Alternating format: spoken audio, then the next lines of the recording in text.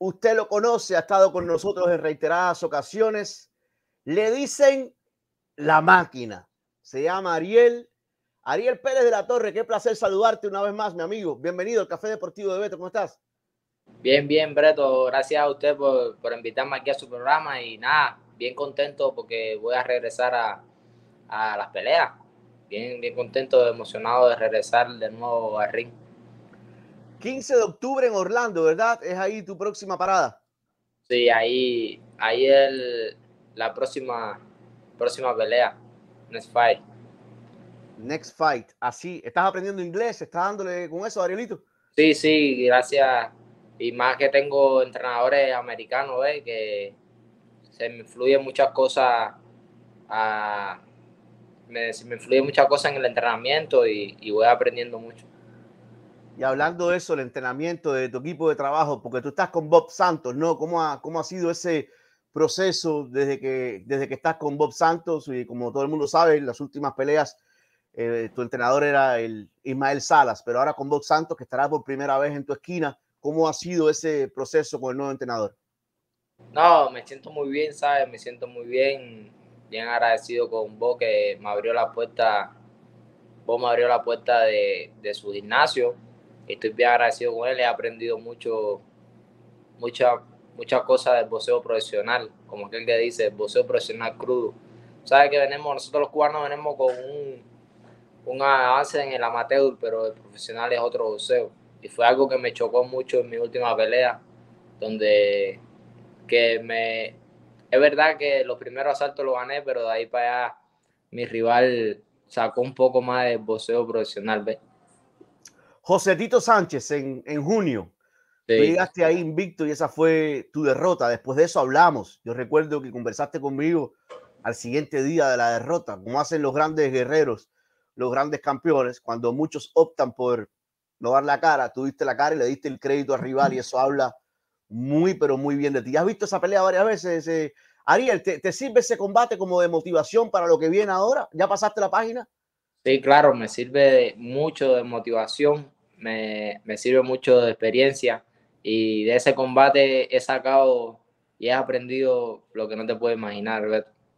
Todo lo que he aprendido en este, en, este, en este nuevo campamento que he hecho para esta próxima pelea, lo, lo he sacado de mi última, de mi derrota todo lo he aprendido ahí. Todo lo que he podido avanzar ahora lo he aprendido de esa, de esa pelea.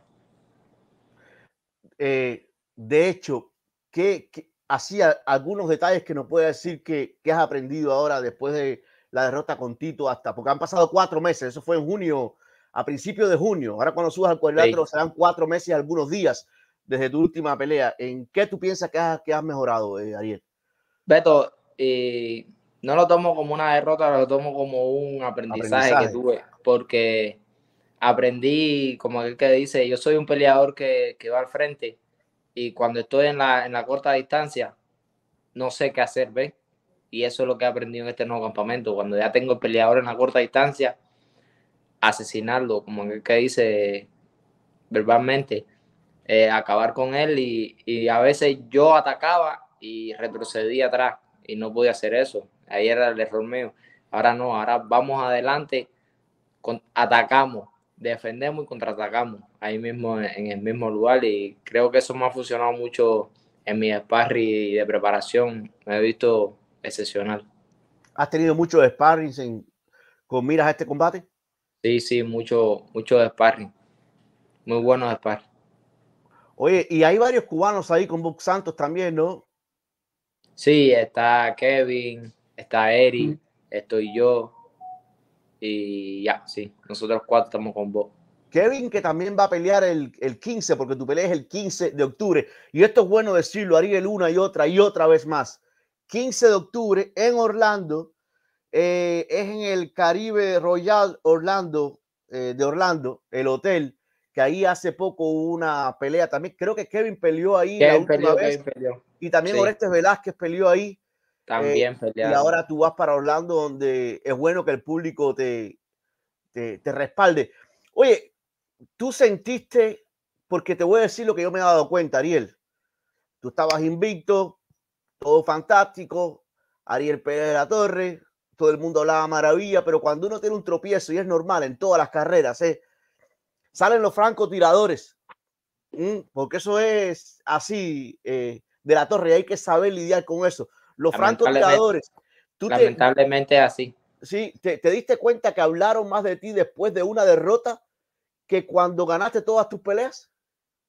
Así mismo, así mismo, y no, y, y estoy bien agradecido por eso, porque que hablen mal o hablen bien, pero siempre que hablen, ¿ves?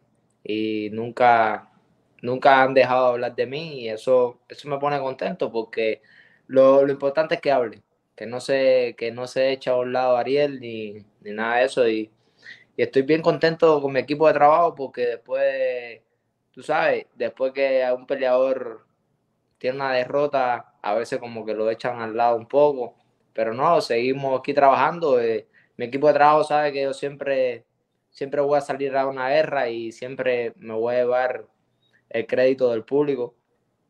Y así fue en mi, en mi última pelea. No pudimos alcanzar la victoria, pero nos damos el crédito del público ¿eh? y, y, siempre dejamos el corazón arriba del ring, que eso es lo, lo importante. Yo siempre lo he dicho, yo trabajo, yo trabajo para, para el fan, yo no trabajo, trabajo para ganar mi pelea, claro pero eh, más que eso trabajo para, para el público que paga por ir a ver, por ir a verme.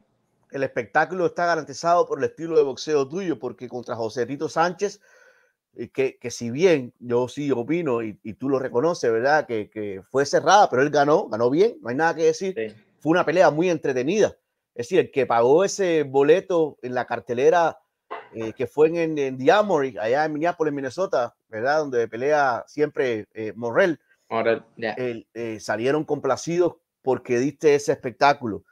Eh, pero yo te digo algo, sí, porque tú eres un tipo que yo me he dado cuenta, a pesar de tu juventud, 24 años, ¿verdad? 24 años. Sí, 24 años. Eres un tipo con fortaleza mental, porque muchos tienen un tropiezo y cuando empiezan a ver por aquí las críticas, salen por ahí algunos que sí destacan las cosas buenas, pero normalmente lo que señalan es oye, que si esto, que le falta esto, lo otro. De momento, esos que te aplaudían eh, comienzan a abuchar. Y son las cosas que uno nunca, y por lo menos yo no la, no la entiendo, ¿no? No puede ser de una forma el lunes y el martes porque eh, sufriste un descalabro, ya eres diferente. ¿Cómo pudiste cambiar en 24 horas? Claro. ¿Tú piensas que eso te hizo más fuerte entonces para todo? Eh, aún así, la gente hablando, los amigos, ¿Qué te decían tú, la gente más allegada, por ejemplo? No, de decir, siempre me, apoyaron, ¿ves? Me dijeron, no pasa nada, campeón, levanta, levanta la cabeza, tú, tú dejaste el corazón en el ring, saliste a, a ganar tu pelea, no fue, no fue tu noche, pero, pero ¿qué más, qué más pues? Ya, eh, ya eso pasó y a seguir trabajando en los errores que tuviste en tu pelea, que eso fue lo que hice. Me basé en todos mis errores que tuve en mi fracaso, en mi fracaso no, en mi derrota. Y trabajé sobre, sobre mis errores y ahora se va a ver el, el día 15 de octubre en Orlando, Florida, el avance que he dado con el favor de Dios y de mis entrenadores. Oye, Facundo Eduardo Acet, este muchacho de, de Argentina que ganó sus nueve primeras peleas, Después lleva como cinco derrotas en fila, pero que es un hombre que, que su récord lo dice ahí, ¿no? Es capaz de ganar combates y uno no puede ir confiado. Él peleó con, si mal no recuerdo, contra Jorgito Romero y perdió contra Jorgito Romero en una ocasión. Pero lo has estudiado, sabes al que te vas a enfrentar, has visto algo de eso, de eso, Ariel, para que no haya sorpresa esa noche del 15 de octubre allá en Orlando.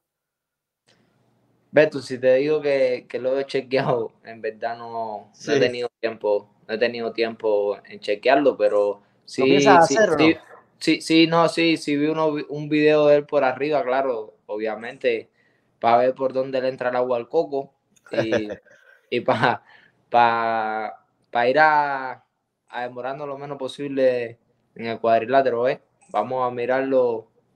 Yo pienso que comparte el video que yo vea, ya sepa ya por dónde entrarle y acabar acabar el rival que es lo que se supone, ¿no?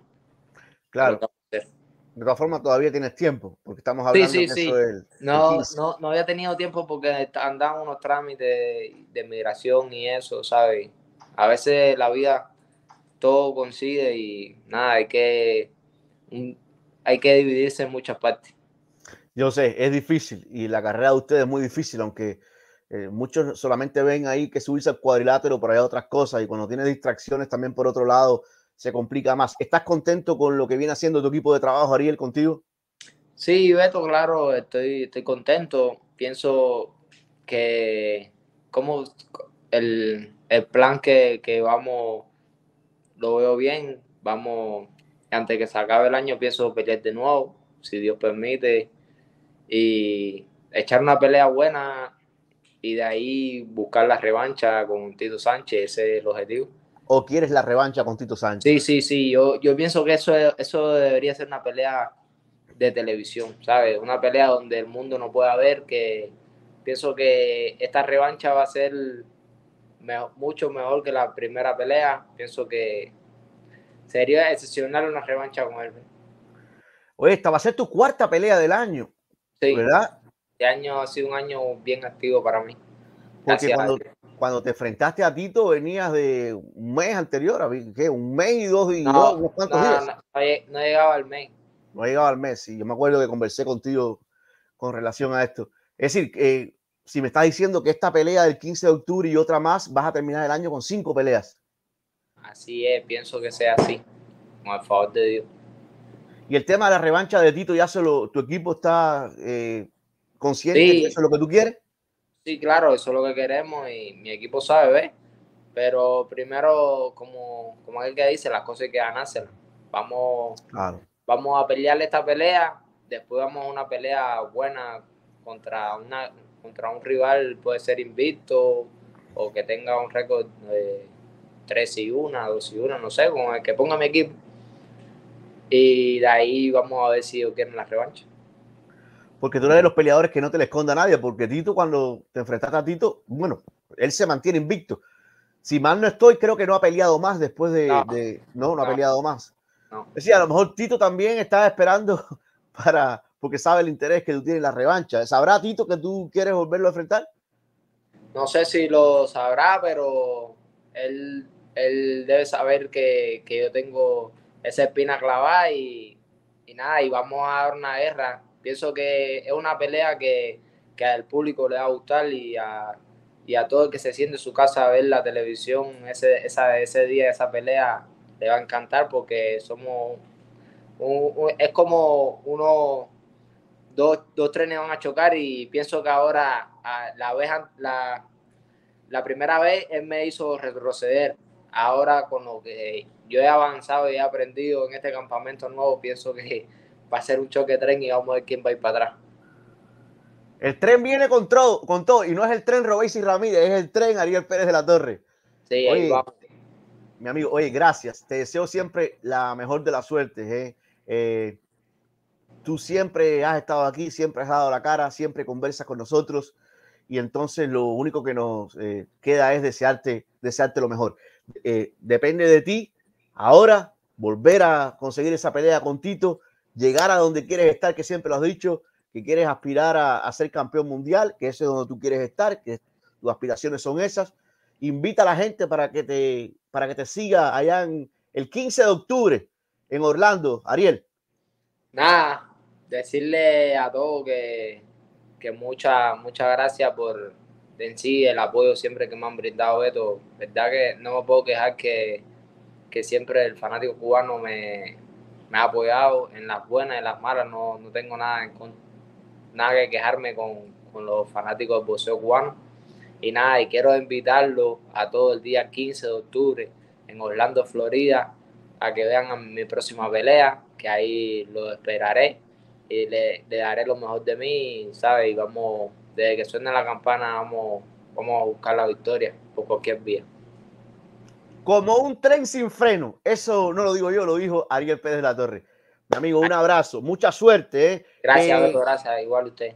Que te vuelvas a encarrilar ahí, yo sé que lo vas a hacer. Sí, seguro, claro que sí, el, trabajo, el trabajo lo, lo, lo, va a, decir todo, ¿eh? Yo soy bien disciplinado, bien enfocado en lo mío y pienso que cuando se hacen las cosas bien, demore, sea en corto plazo o en largo plazo, pero, pero las cosas tienen que llegar. Y, pienso, soy de, de, esa persona que piensa que el éxito temprano a veces se derrumba rápido. ¿eh?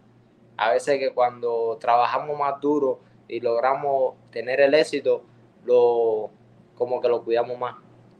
Y se disfruta más. Así, es. Un abrazo. Ariel. Cuídate, mi amigo. Abrazo. Ahí está. Ariel Pérez de la Torre, la máquina, el 15 de octubre en Orlando.